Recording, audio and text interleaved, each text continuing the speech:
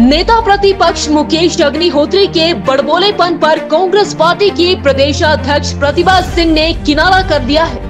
आज पंडोह में Swaraj block Congress committee की बैठक में भाग लेने के बाद जब प्रतिभा सिंह से मुकेश अग्निहोत्री के बड़बोलेपन को लेकर सवाल पूछा तो प्रतिभा सिंह इससे बचती हुई नज़र आई। प्रतिभा सिंह ने कहा कि उन्होंने कभी सीएम जयराम ठाकुर के प्रति कोई टीका टिप्पणी नहीं की है।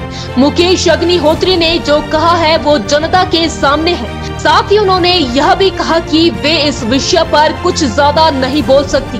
बता दें कि इन दिनों सीएम जयराम ठाकुर और नेता प्रतिपक्ष मुकेश अग्निहोत्री के बीच जुबानी जंग चल रही है।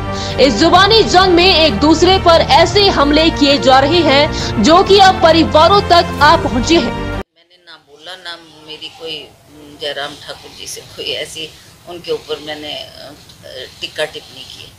इसके बारे में तो मैं ज़्यादा नहीं बोल सकती क्या है उन्होंने ठीक है जो अपनी बात रखी होगी वो जनता के सामने। ये जो मेरे दौरे हैं ये संगठन को मज़बूत करने के लिए मैं दौरे कर रही हूँ ताकि मैं सभी हम पार्टी के कार्यकर्ताओं से बातचीत कर सके और उनको निर्देश दे सके कि अब जो जो आपको जिम्मेवारी सौंपी गई है उस जिम्मेवारी को लेकर आप लोग घर घर तक जाएँगे और सभी लोगों को आगाह करेंगे कि अब इलेक्शन बहुत नज़दीक है, आप लोगों ने पार्टी का साथ देना। जो हमने किया है विकास के कार्य, वो उन लोगों के सामने लोग ने पिछली मरतबा भी एमपी के चुनाव में भी इसी बात को ध्यान में रखते हुए इलेक्शन में साथ दिया था और इस बार भी मैं उम्मीद करती हूँ कि विकास कांग्रेस पार्टी ने किया है।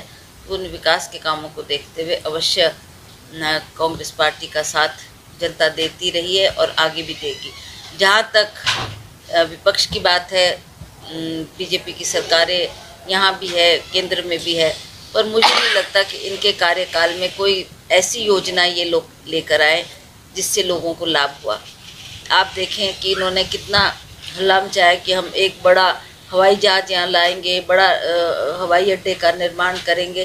ना भी कार्य हुआ और ना ही अभी कोई कागज़ी कार्रवाई भी नहीं हुई है, ना ही भूमि अधिग्रहण हुआ है। तो ये एक लोगों को महज बरखलाने की बात है, उनके साथ एक भद्दा मज़ाक जो सरकार ने किया है, और उसके अलावा भी जो जो काम का उद्घाटन मान्य जयराम ठाकुर जी कर रहे हैं, वो सभी काम वो है जो वीरभद्र सिंह जी करके गए हैं, उन्हीं कामों का उद्घाटन किया। इनके कार्यकाल में कोई भी काम या कोई भी काम का शिलान्यास इन्होंने नहीं रखा जिसका उद्घाटन ये करना चाहते उज्जवल हिमाचल के लिए मंडी से उमेश भारद्वाज।